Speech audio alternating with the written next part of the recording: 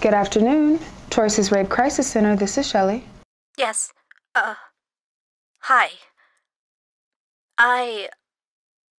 Um. I'm not sure. Uh. It's okay to take some time to find the right words. My name is Shelley, and I use her and she as pronouns. Is this your first time calling the crisis line? Yeah. My friend. She suggested I call. This. Everything I say is confidential, right? That's right. What you say to me is kept between you and I. Well, almost everything. If you talk to me about harming yourself or someone else, or about a child being abused, then I have to notify the authorities. Other than those things, this call is just between you and I. We don't give specific information about our callers to anyone else. What kind of information do you need from me? I only need what you want to tell me. I do usually ask people if they like to share their name with me and their pronouns to start, and then we go from there. I'm Kathy. Pronouns? She and her, I, guess. I've never been asked that before. I'm glad you called today, Kathy. I ask pronouns so I don't misgender anyone by the sound of their voice. Oh, okay. What else do you need? Well, let's just start with why you called today. You said a friend suggested that you call? Yeah. At lunch today. Stephanie and I were talking, and she asked if I was sick. I missed work yesterday. I rarely do that. I wasn't going to tell anyone, but I just needed to talk to somebody, and she was right there. And she looked worried. It just came out of my mouth before I even decided to tell her. Hmm. It wasn't my fault. I didn't know he thought that we were. I only met him a couple of times. I just waved when I recognized him on the street. He walked up to my door, and then he was just still talking, and I was unlocking the door, and before I knew it, we were both inside. And he asked what I had to drink, that he was thirsty. I didn't want to be rude, so I walked into the kitchen to get him some water, and he. he. I'm sorry this happened to you, Kathy. You couldn't have known. But I should have known. I know better than to let strangers in my house. I'm always so safe, and I don't trust anyone I don't know. But I'd met Chris before, and he seemed friendly. It wasn't your fault. He got himself into your house on purpose. he sure did. He barely drank any water. He wasn't thirsty. He put down the glass after like a sip and then just sort of walked around looking at stuff and uh, asking questions, you know, normal questions. Like he wanted a little tour and I I just just did it. When we got to my room, he said he liked the colors. And I liked that. I just painted a couple of weeks ago and, and redid the whole room. God, I can't even go in there now. I've tried. It's like it's tainted. My comforter, my bed. I don't feel safe. God, I feel so stupid. And he just kept telling me how pretty the room was, how pretty I was. And all of a sudden, he was so close to me. He, he pulled my arm towards the bed and said we should christen it since it was new. I pretended I thought he was joking, but that's when I started to get scared. Before that, I was just kind of annoyed. I wanted to change and do some organizing in the spare room. All of a sudden, I knew I was in trouble. It can happen that way. All of a sudden, our brains just know there's danger before we're aware of it. Well, I, I pulled my arm away and kind of laughed it off, and he grabbed me.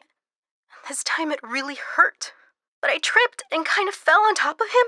He got so excited and he said he knew I wanted him. But I didn't. I just tripped when he pulled my arm. He ripped my favorite shirt. It's okay, Kathy. Keep talking if you want to. I'm right here. I had on a lacy bra. He said it was sexy. I didn't think it was all that different from any of my other bras, but he was already groping me uh, under my skirt. Didn't even bother to take it off. Just pushed it up, and somehow he was inside me. I, I didn't make another sound. I didn't push him off. I didn't scream. Nothing. He said. He said how good it felt and how he knew I liked his. his cock. And that I was wet. But I wasn't. It hurt. It still hurts. I'm bleeding a little. I'm so sorry he hurt you, Kathy. Nobody deserves what you went through. I didn't even leave the house until this morning. Finally left and said he'd call me. He just put his jeans back on and looked for his keys. I guess they fell out of his pocket, and when he found them, he scooped them up and left. I finally got myself moving, and I locked the door and I put the chain on. Like that was going to help any. I grabbed my robe in the bathroom so I had something on my body. I sat on the couch with a blanket around me. I don't know for how long, but I must have fallen asleep. Wasn't that weird? Like it was nothing, like like I hadn't just been ra- It's okay to say it if you choose to. raped. He raped me, and I didn't do any. I didn't fight. I didn't scream, and then I I just fell asleep. Your body likely needed the sleep to get a break for a bit. You had been through an awful lot, Kathy. Our brains respond for us when we feel threatened. Now, whatever you did to feel better or safe is okay. There's no right way to respond to being assaulted. No. Well, it feels like I should have done something, but I didn't. I turned my phone off, I got in the shower, I scrubbed myself raw over and over, and then I put my robe back on so I wasn't so naked, and fell asleep on the couch again. This morning I, I got up and went to work.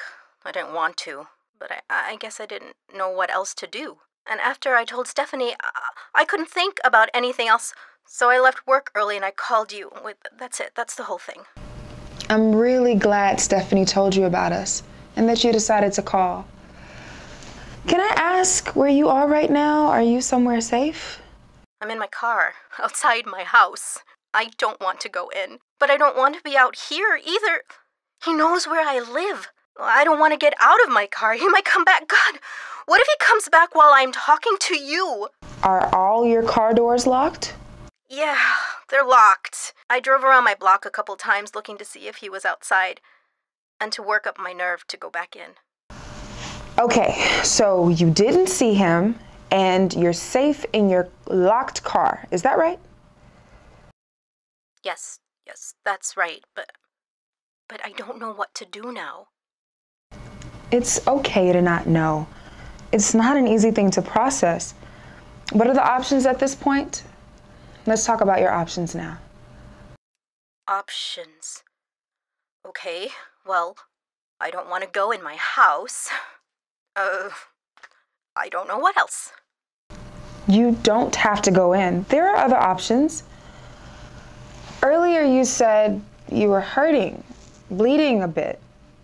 Have you thought about getting medical attention? If I do that, won't they call the police? I don't know if I want to talk to them yet. God, I just don't know anything right now. I don't even know his last name. The police should only be called if you request it. But if you went to see a doctor, you only have to tell them what you want to. Now, it might be a good thing for you to be seen for your health, but it's your choice. So is reporting to law enforcement.